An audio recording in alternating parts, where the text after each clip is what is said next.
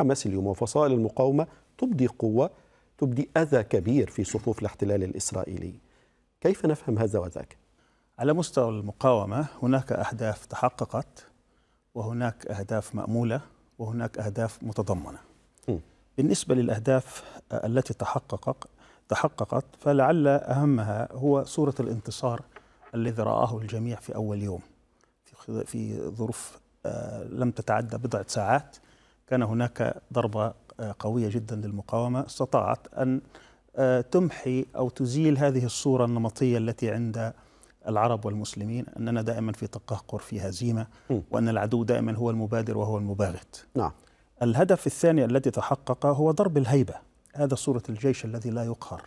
هذه أيضا ضربت ضربة ليس فقط عند المشاهد العربي أو عند الإنسان العربي أو المواطن العربي ولكن كذلك أمام العالم وأمام أهم ذلك هو الشعب الإسرائيلي نفسه فقد هذه الثقة. وهذه مسألة في غاية الأهمية وتحققت الحقيقة وهذا يفسر لماذا هذه المجازر وسأبحث وسأفصل أكثر. الأمر الثالث هو أخذ أسرى يعني كان هدف هو أخذ الأسرى حتى تتم مبادلتهم والهدف الرابع الذي يمكن أن نتحدث عنه هو تأجيل ما يسمى بمشروع التقسيم الزماني والمكاني للأقصى. هذه أحد أبرز الأهداف التي تحققت. هناك أهداف مأمولة. ولعل أهمها هو ما يسمى بتبييض السجون. يعني في أمل أن الأسرى الذين لدينا المقاومة وهم معظمهم جنود الآن أو ضباط حتى من من ذوي الرتب الرفيعة يتم مبادلتهم وتبييض السجون حسب ما يكون طبعا الوضع الميداني في نهاية المعركة. الأمر الثاني هو فك الحصار. يعني لا شك أن الذين خططوا لهذه كان هذه المسألة واضحة جدا لديهم أن بعد 16 سنة من الحصار المؤلم والمضني وليس هناك أي أفق في في فكه فكان لابد من تغيير هذه من خلال العملية عسكرية وأيضا كما ذكرت هي موضوع نعم. الأمر الأهداف المتضمنة في هذه المسألة بالنسبة للمقاومة هذه ستعتمد تحقيقها حسب نتيجة المعركة النهائية. وهناك عدة سيناريوهات قد يعني نتطرق إليها ولكن بصورة سريعة كده فشل عمليات التطبيع. يعني كانت أمريكا تريد أن تستبق المسألة بالنسبة للتطبيع بين السعودية والكيان الصهيوني في الربيع القادم. واعتقد هذا تأجل على الأقل إن لم يكن فشل فشلا ذريعا. أصبح هناك شك في المجتمع في قدرة في المجتمع الإسرائيلي في قدرة هذا الجيش أن أن يؤمن له أمنه ويؤمن له حدوده. وبالتالي هذه مسألة مهمة جدا. إذا انتهت المعركة في سيناريو محدد. والأمر الثالث وهو أيضا مهم أعتقد هذا يمكن متضمن وهو إبراز خط المقاومة وفشل المسار التفاوضي. طيب هذا بالنسبة للمقاومة، هناك أيضا ممكن نتحدث عن أهداف إسرائيل وهل تحققت أم لا.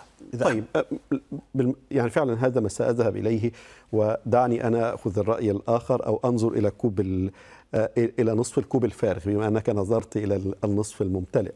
البعض يقول أن ما حدث في 7 7 أكتوبر أعطى ذريعة للاحتلال الإسرائيلي بأن يفرغ القضية من مضمونها ينهي القضية ببساطة شديدة بقتل أكبر عدد من المدنيين استحالة الحياة في قطاع غزة ومن ثم يكون سيناريو التهجير فتنتهي القضية الفلسطينية على الأقل فيما يتعلق بقطاع غزة. وهذا ما يسير فيه الآن يعني على ما يبدو بنجاح كبير ودفع ملايين 2 مليون فلسطيني الآن بالقرب من الحدود المصرية الفلسطينية. هل هذا السيناريو صحيح بهذا الشكل؟ نعم هذا طبعا سؤال مهم جدا وهو متعلق أيضا بالأهداف الإسرائيلية. يعني بعد هذه الضربة التي تلقاها العدو الصهيوني كان هناك لديه أهداف استراتيجية وأهداف تكتيكية. لعل من أهم الأهداف الاستراتيجية وهي مسألة موجودة في الفكر الصهيوني بصورة عامة وكان يرون أن هناك خطأ استراتيجي كبير حدث في 48 وهو عدم يعني نزوح ليس فقط غالبيه الشعب الفلسطيني وإنما الشعب الفلسطيني كله. دكتور سامي العريان هذا ما كنت أتحدث عنه.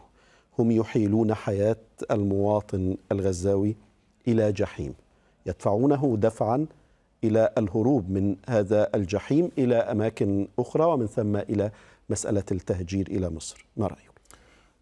أنا يعني لا أنظر إلى القضية بنصف الكوب الفاضي أو الملآن أنا أنظر إليه بمسألة تحقيق الأهداف وبالتالي أحببت أن أبدأ بما هي الأهداف التي تحققت فعلا وبالتالي مهما كانت النتائج هذه أهداف تحققت وهناك أهداف يرجى أن تتحقق تبعا للسيناريو الذي ستنتهي عليه هذه المعركة وأهداف متضمنة حسب تحقق هذه الأهداف. بالنسبة للعدو الإسرائيلي هناك أهداف استراتيجية لعل أهمها هو تغيير صورة هذه المشهد. هذا المشهد المنهزم المنكسر العاجز الفاشل المهزوم هو أراد أن يغيرها من خلال هذه المجازر. ولكن هناك أيضا هدفا استراتيجيا هو دائما كان يبحث عن فرصة استراتيجية أو, أو, أو, أو, أو زمن يمكن أن يحقق فيه هو تهجير الشعب الفلسطيني. وهو يعني هذا جزء من استراتيجي وحاول إقناع الأمريكي به.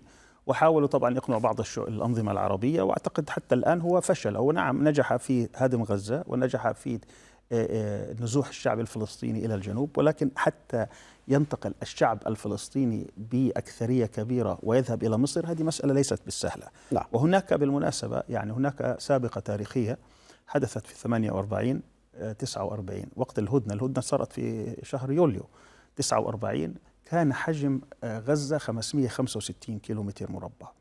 وكان المسؤول عليها كان الحاكم العسكري الفلسطيني محمود الرياض الذي أصبح فيما بعد وزير خارجية. والفلسطيني اللي كان متواجد وهم جايين من قراهم كانوا دائما يدخلون من الحدود ويذهبون إلى قراهم ويذهبون إلى مصانعهم ومزارعهم فهذا سبب إزعاجا كبيرا. فما كان من الإسرائيلي إلا أن يضرب الجيش المصري ويضرب الحامية المصرية هناك حتى يضغط على المصريين لإيقاف التوغل الفلسطيني. وللأسف الشديد وقتها كان الحل أن محمود رياض أعطاهم 200 كيلو. أعطاهم 200 كيلو. قال هذه منطقة حاجز وهم أخذوها طبعا. وهذه اتفاقية اسمها اتفاقية العوجة وموجودة يعني. فهل فلو أفلح أن يوجد مليون فلسطيني لن يستطيع الجيش المصري أن يتحكم فيهم. سيذهبون ويقاومون وساعتها الإسرائيلي سيقول للمصري أنت المسؤول عليهم. وهذه مسؤولية كبيرة.